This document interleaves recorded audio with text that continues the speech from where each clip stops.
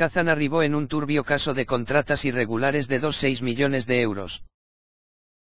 El alcalde del cambio en Valenciana tendrá que dar explicaciones por una denuncia de ciudadanos, se ha saltado todos los controles de fiscalización para renovar contratas ya caducadas.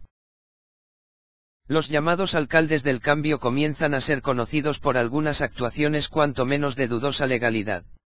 Eso al menos le está ocurriendo a uno de los más importantes, el de Valencia y de Compromís, el partido de la ejemplar Mónica Oltra.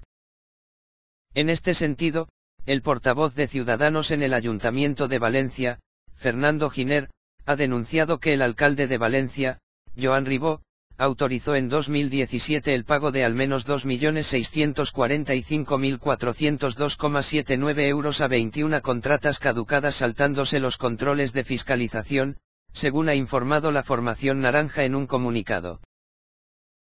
Para Giner, Ribó debe endurecer los controles fiscales para evitar la corrupción, puesto que la ciudad ha sido manchada por esta lacra y el alcalde no ha traído la transparencia al ayuntamiento. El portavoz de CS ha explicado que los 10 servicios que han pagado a contratas con omisión de fiscalización son juventud, patrimonio histórico artístico, bienestar social e integración, atención a las personas mayores, patrominio, devesa albufera, deportes, movilidad sostenible, educación y tecnología, información y comunicación. El Servicio de Fiscal Gastos de la Intervención General advierte de que se tratan de pagos a contratas en las que se han finalizado hasta las prórrogas que permite la ley, ha detallado Giner.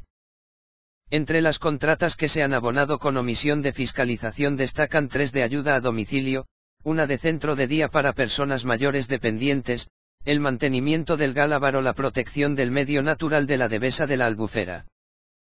Para concluir, Giner ha asegurado que la desenfrenadamente caótica gestión de Ribó provoca este descontrol en las contratas al que se suma los más 760.000 euros en contratos menores saltándose los controles de fiscalización.